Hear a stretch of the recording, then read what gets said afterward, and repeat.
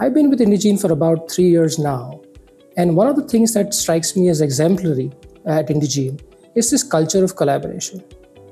Sure, uh, you know, organizations have this collaboration, people work across teams, etc.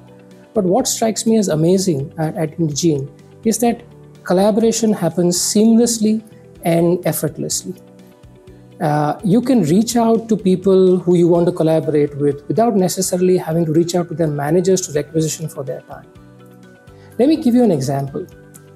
Um, last year, uh, we acquired a high end market access consulting firm in the US. And we set ourselves a very stringent timeline of integrating the organization into Indegene uh, just four months after the closing. Um, it was a tall order, and we needed many, many teams to come together to make this happen.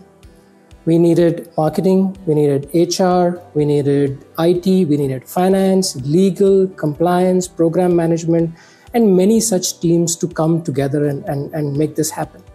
Even within uh, HR, we needed uh, HR ops, uh, compensation, uh, business HR, etc., across US, India, and UK to come together to make this happen. Once a core team was formed and the freedom given to them to reach out to whoever was needed to make this a success, uh, right?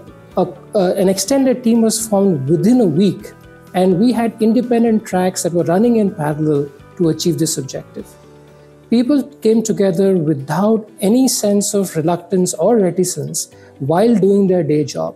And that was what was amazing to me.